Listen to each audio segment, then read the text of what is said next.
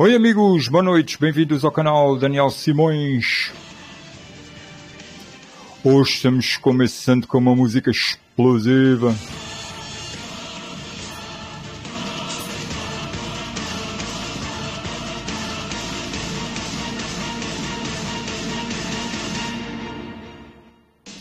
Porque é que eu acho que ela é indicada para iniciar este estudo?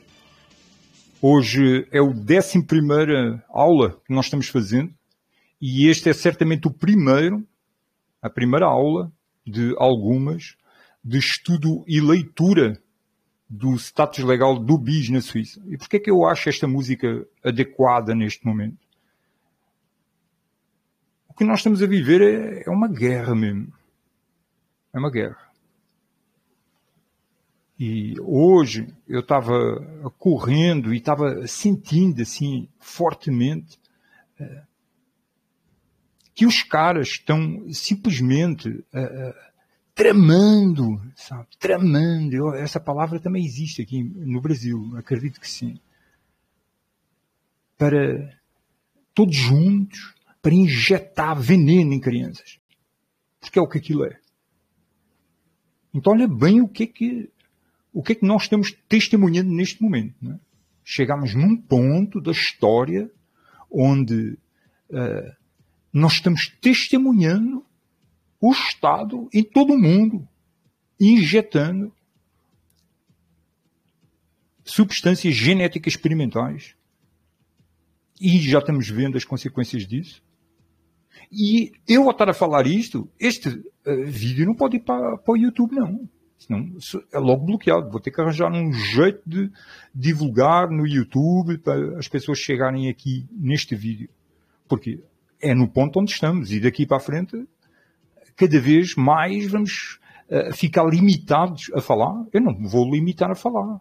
Se não querem que eu fale estas coisas aí nessa sala, eu vou para outra sala falar. Não é? Agora, não me vou calar. E, e, o que nós estamos vendo hoje, chegamos no limite da situação, que os caras estão atacando as crianças. Né? E, os caras estão planejando já, eles já, já fizeram algumas tentativas, eles disseram que foi pouca gente, né? que levou crianças. Mas olha aí, estão criando, não é, não é nem que se fosse uma, né? não é só uma, já foram crianças. E os caras estão querendo iniciar em janeiro um ataque maciço às crianças, com essa porcaria, injetando esses venenos. E nós já estamos vendo as pessoas a morrer e a, e a sofrer uh, uh, sequelas disso aí, né?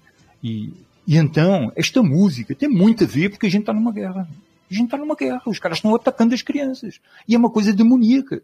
Os caras estão lá em cima, em banquetes, jatos de luxo, toda uma mordomia incrível e estão matando crianças. Estão, estão atacando as crianças. Né?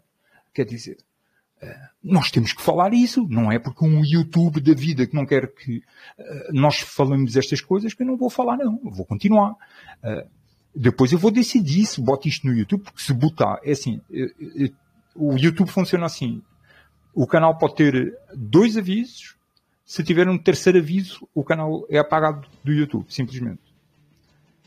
Depois, se a pessoa quiser, é toda uma contestação judicial, toda uma, uma chatice, né? Eu não, nem sequer vou chegar nesse ponto. Se eu decidir botar isto no, no YouTube, que neste momento só tem um aviso ativo, uh, eu já sei que é para ficar com dois avisos, né? e vão deletar o vídeo, mas a gente precisa saber o que é que eles não querem que a gente fale. E o que eles não querem é isto mesmo. Nós estamos sabendo o que é que eles estão fazendo. E sabemos quem são. Temos listado, temos os nomes, temos uh, os eventos, quem é que está onde. Uns estão fazendo levantamento de uns, outros estão fazendo levantamento de outros. E nós juntando essa informação toda, nós sabemos muito bem quem é que esses caras são. Né? Vou aqui desligar a música que já está demais. uh, mas é, o negócio é muito sério. Né?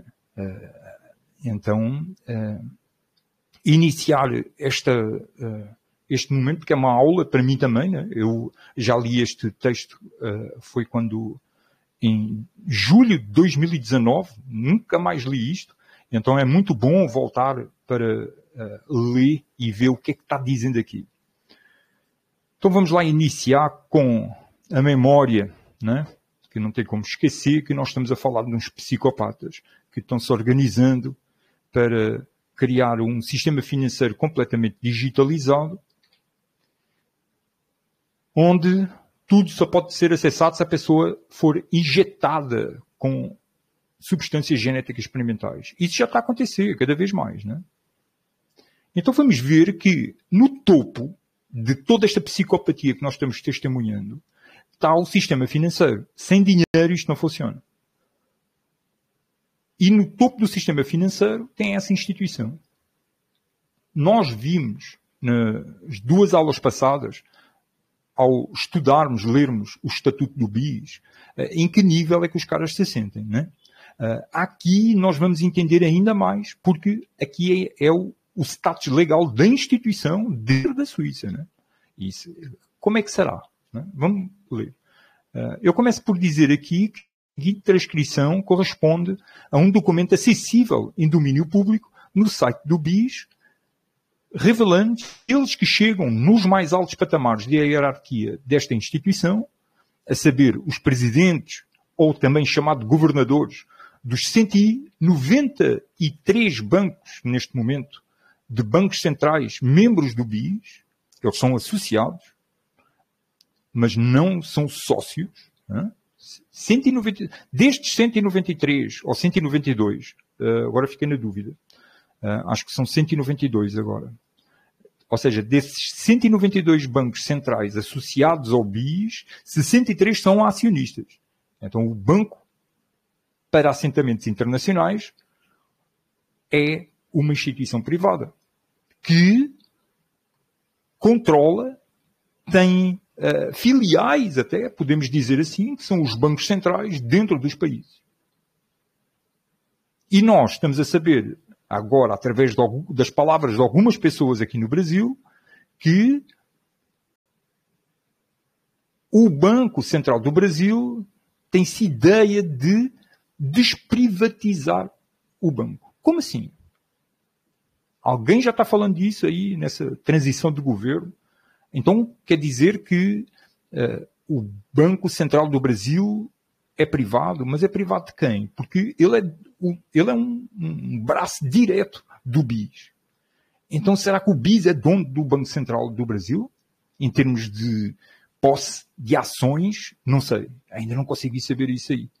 Mas o Banco Central do Brasil, junto com outros 62 bancos centrais do mundo, são acionistas do BIS, donos do BIS.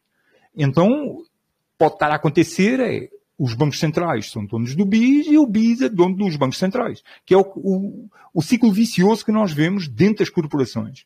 Elas são todas donas umas das outras. Se vocês fizerem essa, uh, essa pesquisa sobre quem, é o, quem são os maiores acionistas das maiores empresas, vocês vão ver sempre as mesmas empresas e vocês começamos a ver, uau, peraí, isto é uma coisa só, são muitos, mas já começa a ser assim uma amálgama que começa a ganhar um padrão, né?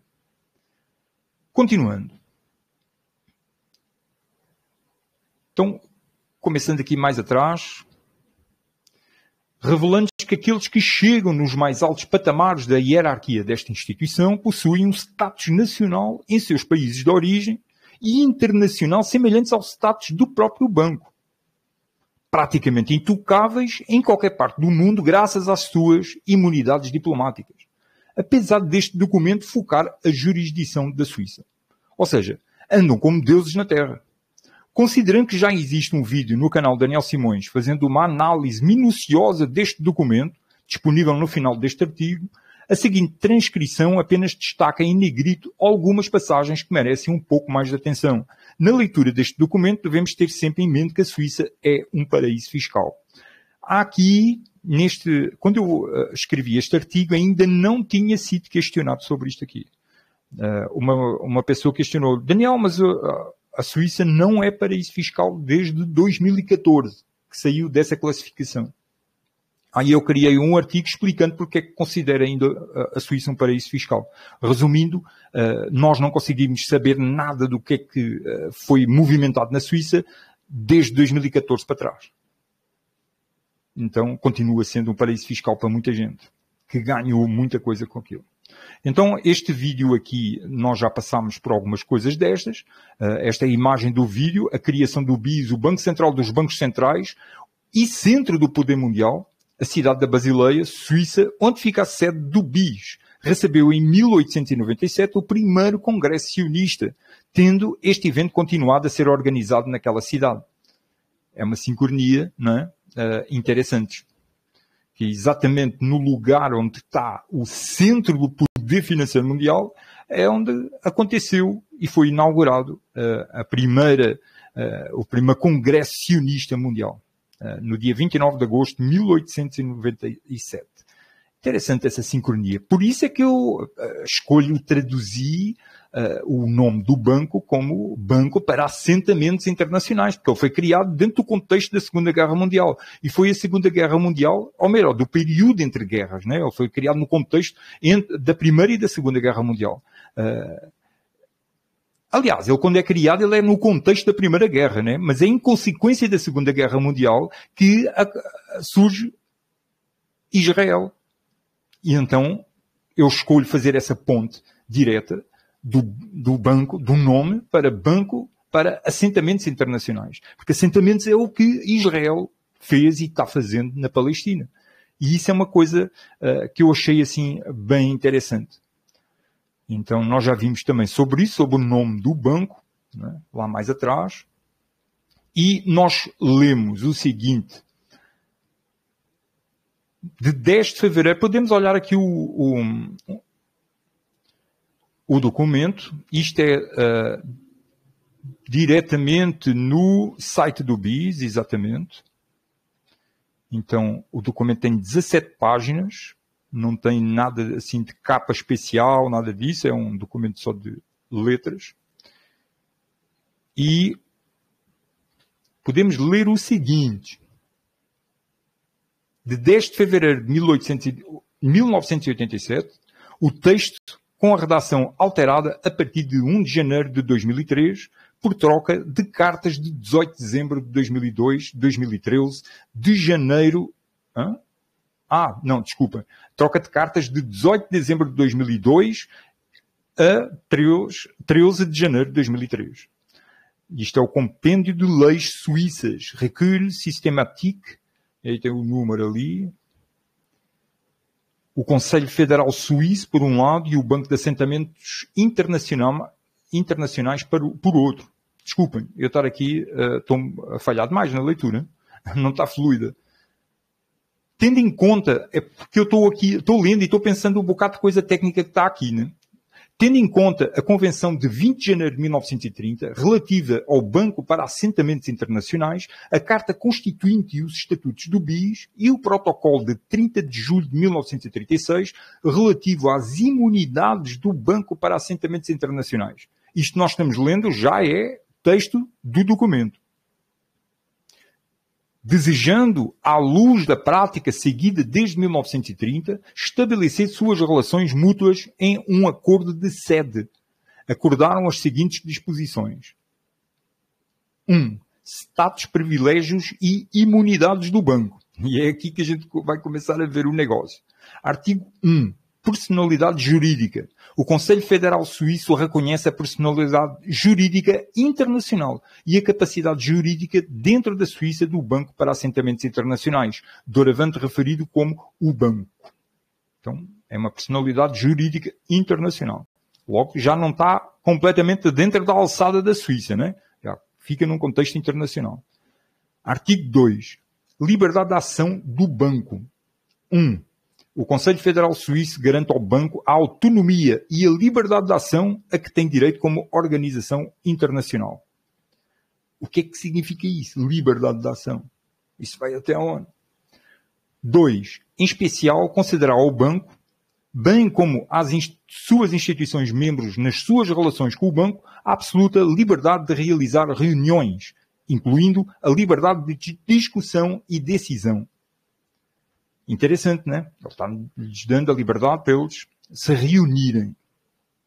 Por que é que então tem que haver uh, uh, algo à parte assim, né?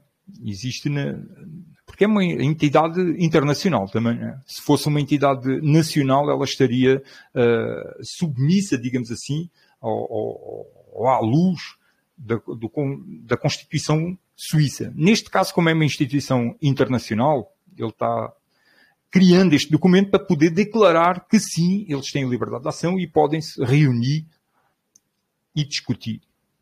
Artigo 3. Inviolabilidade. 1. Os edifícios ou partes de edifícios e terrenos adjacentes, independentemente de quem sejam os seus proprietários, utilizados para os fins do banco, serão invioláveis. Nenhum agente das autoridades públicas suíças pode entrar nele sem o consentimento expresso do banco. e aí, que tal? Apenas o presidente, ou seja, do BIS, e diz entre parênteses, a referência no acordo ao presidente do banco deixou de ser relevante, pois esta, esta posição foi abolida por decisão da Assembleia Geral Extraordinária do banco em 27 de junho de 2005, sobrando então a cadeira de gerente geral do banco ou seus devidos representantes autorizados devem ter competência para renunciar a tal inviolabilidade. Então, eles eles podem renu, renu, uh, renunciar né? essa inviolabilidade. Mas, por princípio, ninguém bota os pés lá dentro. Quem é que está fazendo vestoria do BIS? É o BIS.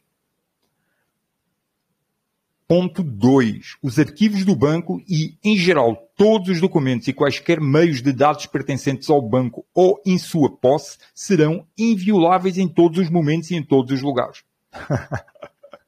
E aí? Em todos os momentos, em todos os lugares. Mas todos os lugares como assim? Dentro da Suíça, não é? Porque isto aqui só tem a ver com a Suíça. Mas mesmo assim, ninguém pode tocar em nada, nada. Então, vocês estão vendo o nível de movimento de, que existe aqui? Ninguém pode tocar em nada. Pode ir qualquer coisa dentro daquelas bolsas, dentro daquilo, daquelas maletas, pode ir qualquer coisa. Ponto 3. O banco exercerá supervisão e poder de polícia sobre as suas instalações. e aí, que tal isso aí? Hein? Ou seja, vamos aqui ver, espera aí. Os caras são um território internacional dentro do território suíço. E eles têm o poder de se supervisionar e têm eles o poder de serem polícia de si próprios. Ora, Claro, se não pode entrar lá ninguém dentro. se acontece alguma coisa, se mata um cara lá dentro, ou um cara qualquer morre lá dentro, né? Aí vai ter que se pesquisar alguma coisa, o que é está acontecendo. Não, é quem pesquisa é o próprio BIS, né? Artigo 4. Imunidade de jurisdição e execução.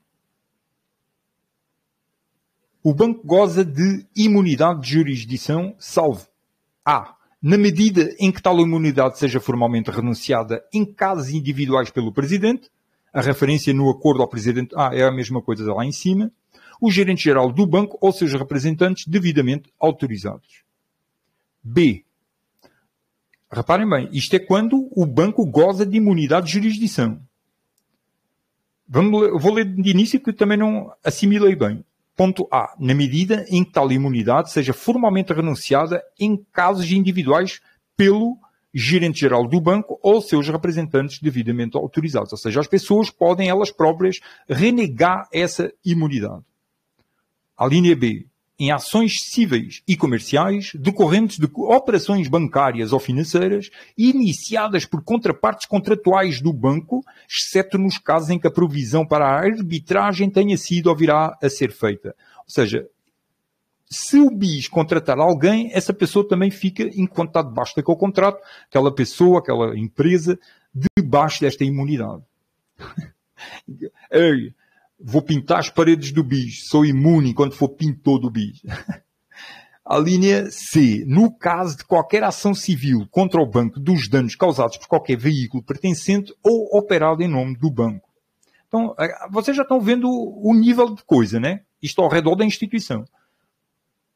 Ninguém pode entrar lá dentro, eles próprios supervisionam, são polícias de si mesmo. Qualquer empresa ou pessoa que vá fazer algum serviço lá dentro fica sob essa mesma imunidade, nem que seja o cara que vai limpar as retretes lá dentro. O cara fica dentro dessa imunidade. E até os veículos. Né? Então, quando eles aqui estão falando de veículos, já estamos a ir para a parte fora do banco, que é dentro do banco, mas já estamos a falar de bens em movimento. Vamos ver o que é que eles continuam dizendo. Ponto 2. Os litígios emergentes em matéria de relações de trabalho entre o banco e os seus funcionários, ou antigos funcionários, ou pessoas que reivindiquem através deles, serão resolvidos pelo Tribunal Administrativo do Banco. Ou seja, qualquer litígio, qualquer coisa errada, qualquer coisa que seja mal feita, vai ser resolvida por quem? Pelo Tribunal Administrativo do Banco. Então, eh, há uma queixa contra um serviço do BIS, ou uma coisa qualquer. Quem é que vai resolver isso? O próprio BIS. Olha que, que coisa interessante. O Conselho de Administração do Banco determinará a constituição do Tribunal Administrativo. ou seja, eles ainda vão determinar quem é que vai lá estar sentado, né? Nesse tribunal, que terá competência exclusiva e final. Eu fico assim, eu não consigo assim, ler isto sem uh, estar rindo com um ar de ironia, assim, de sarcasmo mesmo, sabe? Porque, fogo, man, fogo. Cara, estes caras pensam que são o quê, afinal? Os caras têm que, acordam de manhã, têm que ir no banheiro na mesma, como todos nós. Eles pensam que são o quê, afinal? E é essa arrogância, essa soberba que esses caras têm, que está fazendo com que esteja a acontecer aquilo que falei no início do vídeo. É? Que são psicopatas que estão focando as crianças agora, para injetar venenos. E, e nós estamos vendo, vendo até onde é que vai a psicopatia destes caras. Os caras criam instituições, não, ninguém pode tocar nas instituições e ninguém pode tocar neles, porque eles estão lá dentro das instituições. E vai de atacar e fazer o que quiserem. Olha, isso, é, é preciso acabar com esta porcaria. É preciso acabar com isto, não é? Porque já chega desses caras. Porque se nós tivermos aqui, eh, quem é que está aqui ouvindo? Dez pessoas.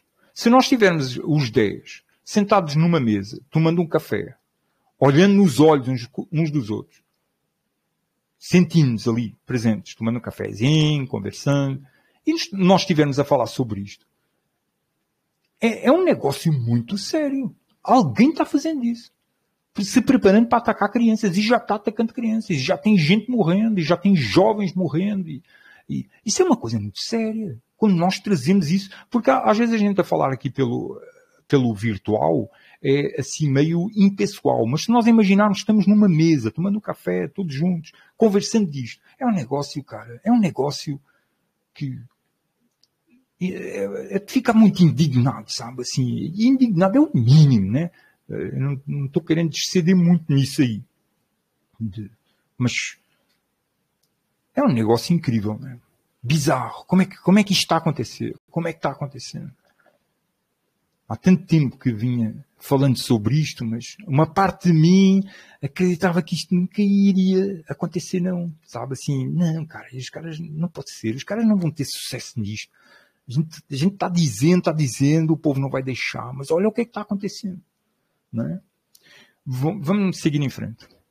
Considera-se que as relações laboriais incluem, nomeadamente, todas as questões relativas à interpretação ou aplicação de contratos entre o banco e os seus funcionários em matéria de emprego, dos regulamentos a que os referidos contratos se referem, incluindo as disposições que regulam o regime de pensões do banco, e outros acordos de assistência social prestados pelo banco. Ponto 3. O banco usará relativamente aos seus bens e ativos, onde quer que se encontrem para quem o detenha, de imunidade de qualquer medida de execução. Incluindo apreensão, penhora, congelamento ou qualquer outra medida de execução, de imposição ou sequestro e, em particular, de anexo da acepção do direito suíço. Ou seja, se eles têm um imóvel, uma coisa qualquer, um carro, nada pode ser alvo de execução. De apreensão, penhora, nada. Não, ninguém pode tocar em nada, nem num, num vaso esteja lá dentro. Nem no. Nada. É, é assim. Vocês, vocês estão entendendo agora já, que estão. Uh, que estamos aqui uh, lendo, estamos aqui. Vocês estão entendendo o nível em que o negócio está? Porque que está como está? Porque eles se imunizaram dentro de uma bolha. Os caras não permitem que nada, ninguém, nenhuma instituição toque neles. Como é que é possível haver gente assim na Terra? Num status legal deste assim. E isto a nível internacional, não é? E estamos a ver uma instituição.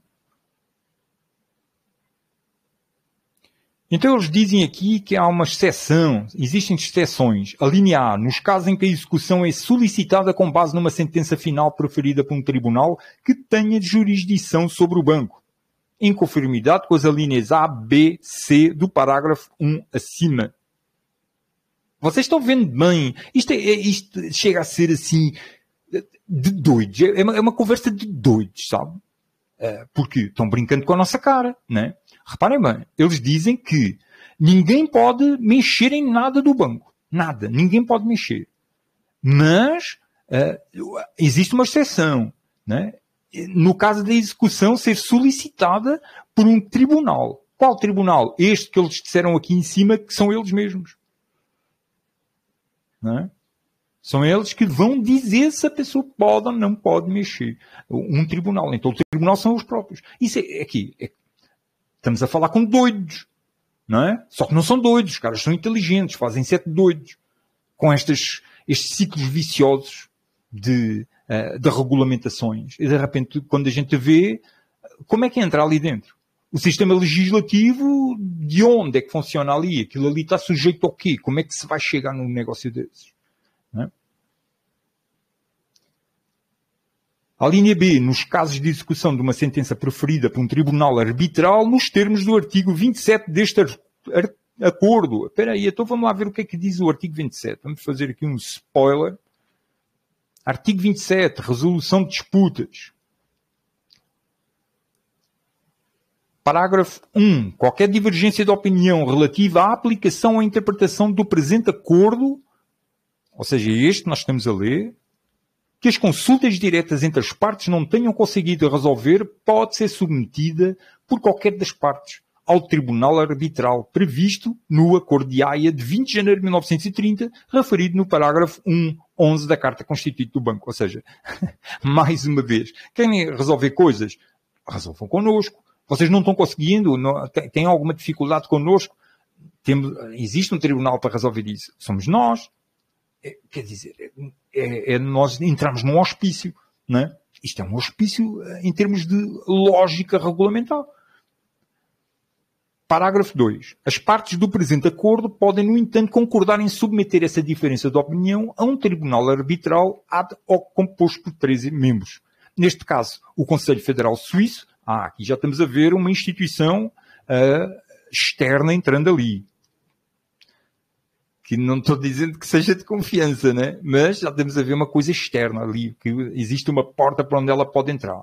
Nesse caso, o Conselho Federal Suíço e o banco nomearão um membro desse tribunal e as pessoas assim indicadas escolherão um presidente. Mas, repara, fica tudo lá dentro na mesma, né? Caso os membros do tribunal não consigam chegar a um acordo sobre quem deve ser selecionado como presidente, ele será nomeado pelo presidente da Corte Internacional de Justiça a pedido de membros do tribunal, ou se ele não puder exercer esta função pelo vice-presidente ou na sua falta pelo membro mais antigo do tribunal.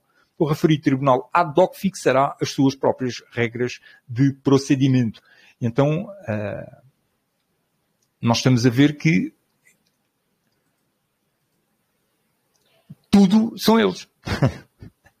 Os caras resolvem tudo, eles criam as regras, uh, porque reparem bem, é, é, é, tipo um doido andar assim no meio da rua e a, diz, e a bater nas pessoas, sabe? E a dizer, você não pode fazer nada, e bate na pessoa e você não pode fazer nada, porque não pode, não pode não. Sabe? É uma coisa assim, é uma... quando, quando eu li isto a primeira vez, eu não acreditei no que estava lendo. Eu tive que reler e ficar assim, cara, incrivelmente. Eu vou traduzir isto. Aí comecei a traduzir isto aqui porque temos que ter conhecimento em que tipo de hospício é que estamos em termos regulamentar. E então, o que é que nós temos que fazer perante isto tudo? Desobedecer. Dizer, não, peraí, eu não vou entrar na história desses caras. Não vou dar biometria, não vou tomar injeções, não, não, não quero nada disso, man. nem que eu vá para o meio do mato, mas eu não quero nada disso aí. Sabe? E nós temos que, assim, só vai acontecer de eu ter que ir para o meio do mato se não houver uma massa crítica de pessoas dizendo não. Porque é isso essencialmente que é preciso. Dizer, não, não entro nessa loucura. Isso aí é uma insanidade completa da vossa parte. Agora, nós sabemos que os caras estão tendo muito sucesso na lavagem cerebral que estão fazendo, na manipulação mental da percepção de realidade das pessoas. E muita gente está indo na história deles. E muita gente está indo na história para poder acessar às coisas. Como, por exemplo, uh, o vestibular. Como hoje eu divulguei na, no Telegram. Né? Uh, os caras querem duas doses mais as duas de reforço. Mas dizem, ah, por agora não vai ser preciso as duas de reforço porque a, notificação saiu muito em cima da hora.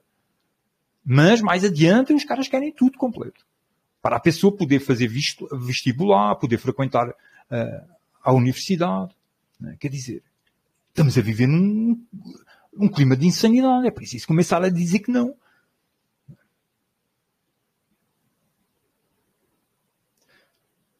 Parágrafo 4 todos os depósitos confiados ao banco, todas as reclamações contra o banco e as ações emitidas pelo banco serão, sem o acordo prévio expresso do banco, onde quer que se encontrem, independentemente de quem o detenha, imunes a qualquer medida de execução. Não importa quem seja, onde seja e faça o que for. O cara fica imune a qualquer medida de execução incluindo apreensão, fixação, congelamento ou qualquer outra medida de execução, imposição ou apreensão, e em particular de ligação na acepção do direito suíço. Quer dizer, como assim? Né? Como assim? Ou seja, todos esses depósitos que são confiados podem entrar por ali dentro. Não, eu entrei, eu trago aqui uma valisa, aqui umas malas, né? uh, mas ninguém pode mexer. Eu trago aqui dentro o que eu quiser. E ando pelo mundo todo e ninguém pode mexer. Estão vendo bem. eu fico assim, incrível. Incrível. Não, é porque é tudo gente de bem. É tudo gente de respeito. Ninguém iria fazer nada errado. Né? Artigo 5. Comunicações. O banco beneficiará, que ampliar para quem esteja acompanhando, o banco beneficiará no que respeita às suas comunicações, aí que não ampliei, ampliei demais. Parágrafo 1. O banco beneficiará no que respeita às suas comunicações oficiais de um tratamento pelo menos tão favorável quanto concedido a outras organizações internacionais na Suíça, desde que esse tratamento seja compatível com a Convenção Internacional de Telecomunicações de 6 de novembro de 1982. Aí a gente teria que ver o que é que diz aquela convenção que eu pessoalmente não sei. Parágrafo 2. O banco terá o direito de usar códigos para suas comunicações oficiais. Ora, peraí, peraí. Só aí já começa assim. Peraí, peraí. Tu quer dizer que existe uma instituição dentro de um país soberano usando códigos de linguagem que saem pelas fronteiras e vocês não fazem a mínima ideia do que é que diz naquelas mensagens. Legal. Isso, estrategicamente, assim, militarmente, isso aí é, assim, cinco estrelas mesmo. O banco terá o direito de usar códigos para as suas comunicações oficiais. Também, terá também o direito de enviar e receber correspondência, incluindo meios de comunicação de dados por correios ou por malas devidamente identificadas que gozem dos mesmos privilégios e imunidades que os correios ou por malas diplomáticas. Querem enviar alguma coisa aí para algum amigo vosso aí, alguma coisa? É nestas malas aqui. Parágrafo 3. A correspondência oficial e outras comunicações ofi oficiais do banco, quando devidamente identificadas, podem não estar sujeitas a censura. Parágrafo 4. A utilização de equipamento de telecomunicações deve ser coordenada a nível técnico a Administração Postal e Telecomunicações da Suíça. Então, quer dizer, eles estão usando canais que também são eh, canais suíços, mas, assim, é a mesma coisa. Está livre passagem, ninguém pode ver, ninguém pode mexer, ninguém pode saber de nada. É, vocês estão vendo bem o nível em que esta instituição está trabalhando. Talvez vocês nunca tenham ouvido nada assim referente a outra instituição no mundo. Eu não ouvi, não. Existem algumas instituições com imunidades e tudo, mas uh, imunidade diplomática, mas elas estão sujeitas a, a um bocado de coisas externas, é? desde uh, vestorias, pesquisas mesmo. Mas estes não. estes aqui estão fechados numa bolha. E aí? Quem é que abre essa bolha? Porque eles só botam para fora o que eles querem, né? Nós ainda vamos ver com atenção a questão do, do no bis. Eu cheguei a esses documentos porque eles querem que esteja disponível. É, é só isso aí. Isso é, é interessante observar isso, né? Porque se eles quisessem, não estava disponível online, né? Parágrafo 2. As disposições do parágrafo anterior também se, estend, também se estenderão aos meios de dados de qualquer natureza. Ou seja, pode ser natureza digital. Aqui está uh, a imagem que nós vimos há umas aulas atrás sobre o plano Dawes, como era impagável, né? E foi para isso que o BIS foi criado, foi para os pagamentos dessa dívida, desta dívida aqui, que a Alemanha ficou devendo aos aliados, e como os Estados Unidos emprestaram à Alemanha para a Alemanha pagar aos aliados, a Alemanha ficou devendo aos Estados Unidos. E como os Estados Unidos participou na guerra na Europa, os aliados ficaram devendo aos Estados Unidos. Então quer dizer, todos ficaram devendo aos Estados Unidos e a Alemanha ficou devendo, além dos Estados Unidos, ainda aos aliados. Então não tinha como pagar isto aqui.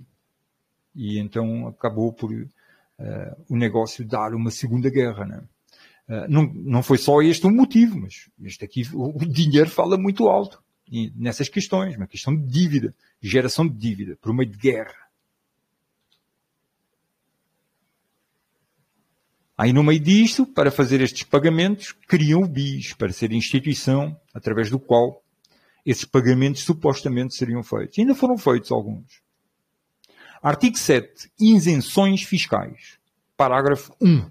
O banco, os seus ativos, rendimentos e outros bens estão isentos de impostos diretos federais, cantonais e comunais. Ou seja, claro, então, se eles não, não param em fronteiras, agora vão parar em burocracias de impostos. Claro que não. É terreno, assim, estrada livre, sempre lisa, sempre a deslizar, não precisa nem tirar o pé, o pé do acelerador. No que diz respeito aos edifícios, no entanto, tal isenção se aplica somente àquelas de propriedade do banco e ocupados por seus serviços e aos rendimentos deles decorrentes. O banco não está sujeito à tributação dos pagamentos de aluguer das instalações por ele alugadas e ocupadas por seus serviços. Ou seja, eh, ele, se alugar um espaço, ele não vai pagar os impostos daquele espaço, né?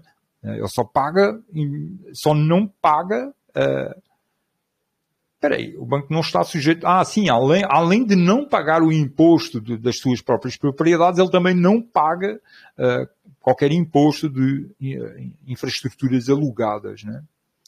Parágrafo 2. O banco estará isento de impostos federais, cantonais e comunais indiretos. No que diz respeito ao imposto federal sobre o volume de negócios, incluindo nos preços, incluído nos preços ou cobrado separadamente, a isenção aplica-se apenas aos artigos adquiridos para uso oficial do banco, desde que o montante faturado por uma mesma compra exceda 500 francos suíços.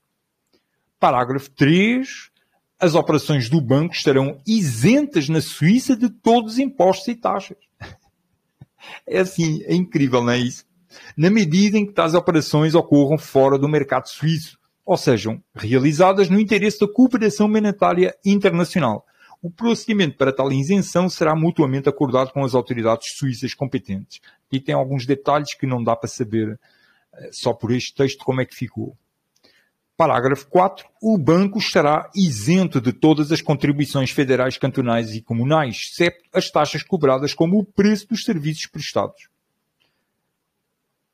Parágrafo 5 Se for caso disso, as isenções acima mencionadas podem assumir a forma de reembolso a pedido do banco e de acordo com o procedimento a determinar pelo banco e pelas autoridades suíças competentes. Então, como nós estamos vendo aqui, isto realmente os caras querem viver uh, como deuses na Terra.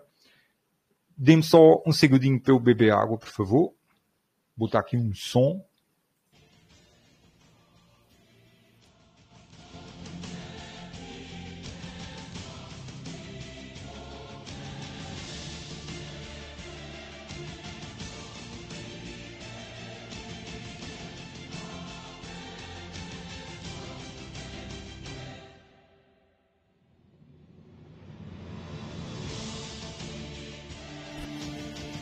Pois é, meus amigos, vamos dar continuidade mais um pouquinho. Eu não quero que estes, estes vídeos fiquem muito grandes, porque é muita informação, mas vale ser menos informação de cada vez e um pouquinho mais de conversa e análise do que muita leitura. Apesar de eu não poupar o povo, não. Eu leio mesmo. e eu tenho que aguentar se quer saber, tem que aguentar. Ou então baixa o som e vai avançando com o vídeo e vai lendo por si só, né? E deixa para lá a minha voz e a minha conversa. Desde que leia, isso aí é que é importante. Então, vamos seguir em frente. Artigo 8. Tratamento alfandegário. Então, espera aí. aí também. Isto aqui vai, vai, tem a ver com as coisas que saem para além das fronteiras. Aqui nós já tínhamos visto que existe uh, menção a procedimentos transfronteiriços, como aqui uh, operações que ocorrem fora do mercado suíço, ou seja, que ficam isentas né, uh, na Suíça todos os impostos e taxas. E aqui o artigo 8 é sobre o tratamento alfandegário, ou seja, como é que se vai tratar as coisas do BIS. O tratamento pelas autoridades aduaneiras dos artigos destinados ao banco será regido pela portaria de 13 de novembro de 1985, relativo ao tratamento aduaneiro preferencial das organizações internacionais dos Estados nas suas relações com tais organizações e das missões especiais dos Estados estrangeiros. Ora, nós, pelo que lemos ali em cima, já sabemos o que diz aí, né? É, não mexam. Isso não é vosso, vocês não têm uh, legibilidade para mexer nisso aí. Vocês não têm autoridade para mexer. E assim andam eles, aí para um lado para o outro, plantando sementes de violência e, e o povo a dormir. Então nós temos que falar, temos que mostrar isto. E aí, eu coloco isto no YouTube ou não? Artigo 9. Livre disposição de fundos e liberdade para conduzir operações. Parágrafo 1. O banco pode receber, deter, converter e transferir todos os fundos, ouro, moeda, numerário e outros valores mobiliários e dispor livremente deles e geralmente realizar sem qualquer restrição todas as operações permitidas pelos seus estatutos, tanto na Suíça como nas suas relações com países estrangeiros. Olha bem, o banco não tem a regulamentação para se movimentar. A regulamentação que ele tem em termos de movimentação uh, de valores, de coisas com valor, é ele que determina. Olha bem. Não existe ninguém, nenhuma instituição que diga a esta instituição o que é que ela deve fazer. Então, quer dizer, os caras, eles não importa a questão a estabilidade financeira, que é a grande filosofia de todo este movimento dos bancos, e é a grande filosofia no centro, no cerne aqui do BIS, é a busca pela estabilidade financeira do sistema financeiro.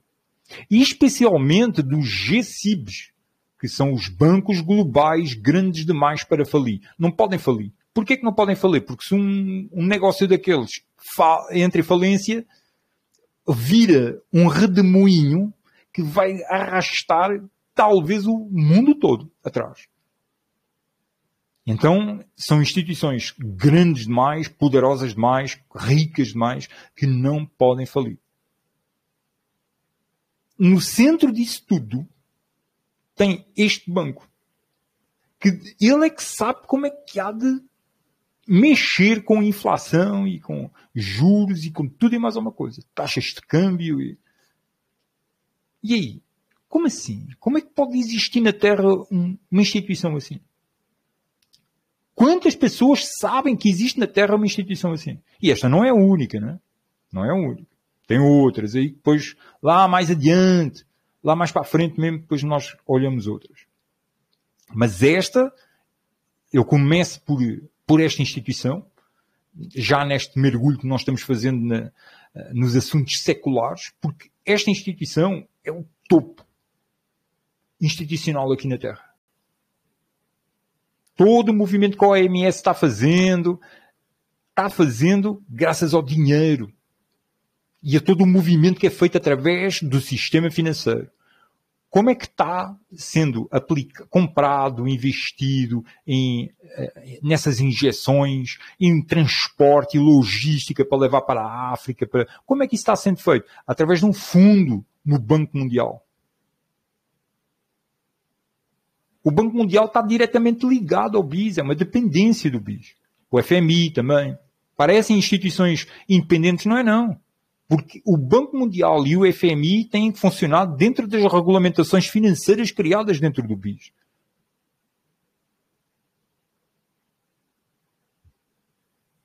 Então, o que nós estamos vendo aqui não é uma coisa qualquer. Os caras fecharam-se numa bolha e ninguém consegue entrar ali dentro, em termos regulamentares, em termos legais, em termos constitucionais.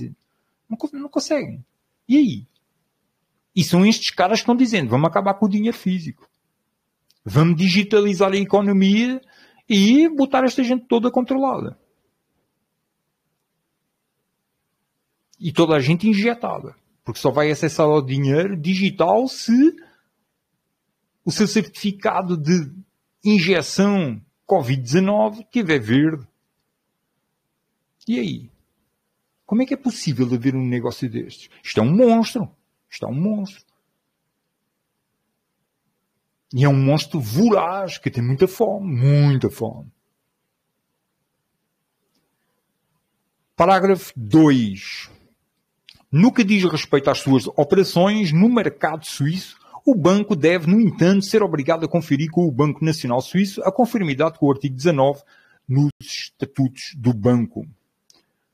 Vamos parar por aqui hoje, no 9, porque 3 vezes 3 é legal. E depois damos continuidade. Se alguém quiser comentar alguma coisa, fazer alguma pergunta, trazer alguma percepção, a hora é agora, estejam à vontade.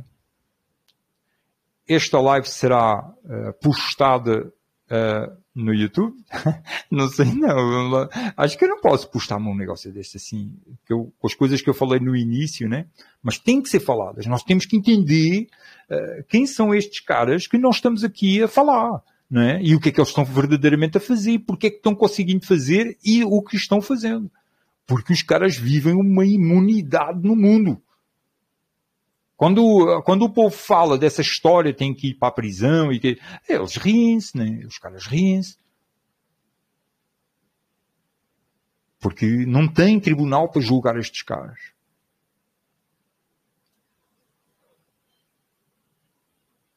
Então, meus amigos, sintam-se à vontade de participar.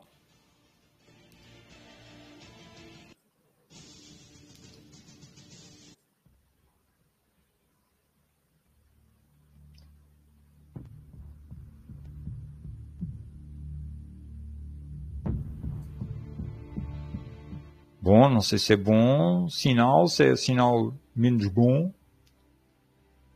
Vou terminar então com uma, uma sacada que um dia eu tive na minha vida, que auxiliou a mudar um bocado de coisa. Eu, quando era mais jovem, eu tinha dias bons e dias menos bons. Ou melhor, eu tinha dias bons e dias maus. Já, já dei spoiler, né? Aí é aquela coisa, a gente acorda sem saber como é que é este dia, estou bem ou não estou bem? Estou bem ou estou mal? Aí um dia eu comecei a compreender, peraí, eu posso ter só dias bons. É um dia bom, um dia menos bom, mas o dia é sempre bom. E a partir, a partir daí os dias começaram a melhorar. Então, meus amigos, agradecendo imenso a vossa presença, espero que. Nós temos que ficar a saber disto. Não tem como, não é fácil, não é fácil. Nós estamos a, a estudar isto, a ler estas coisas e uh, entender a dimensão do mal aqui na Terra, né? Mas nós temos que saber. E somos pouquíssimos, porque olha, quem está ouvindo o meu trabalho é pouquíssima gente. Isto aqui só está fazendo diferença na, na, cabeça daqueles que ouvem. E mesmo assim, não todos, tem alguns que, que não conseguem ouvir, não. Né? Uh, mas é preciso, é preciso que isto seja semeado em cada vez mais mentes e se comece a compreender a dimensão do negócio. O negócio é, é monstruoso mesmo. E nós temos que ter coragem. Ter coragem para dizer que não, estes, estes psicopatas enlouquecidos, caras estão enlouquecidos. A gente não pode ir nas loucuras dos caras, não. Temos que dizer não. E é isso, meus amigos. Vamos caminhando com luz, com força. Bebam água e muita saúde em todos nós.